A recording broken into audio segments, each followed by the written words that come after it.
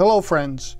In this tutorial, I will show you how to easily pick up objects in 3D Studio Max using link constraints. To save time, I have a pre-animated sequence, and we're going to have our rigs pick up the sphere.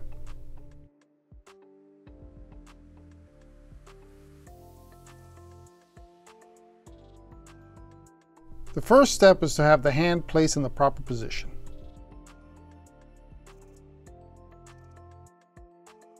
Then select the sphere.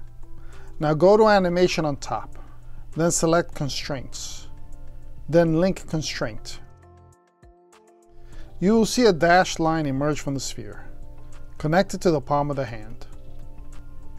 If you go to link parameters on the right, you will see a new panel has opened.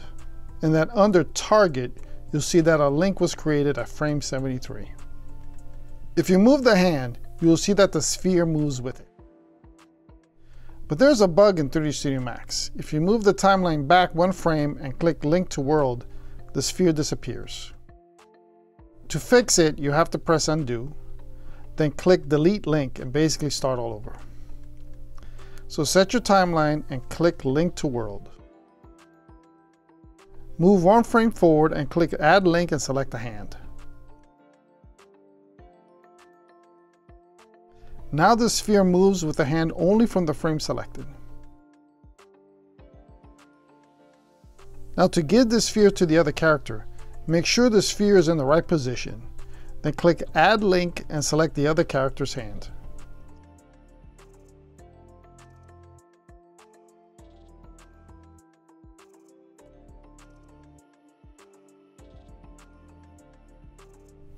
And now when the character places the sphere on the table, Select Link to World.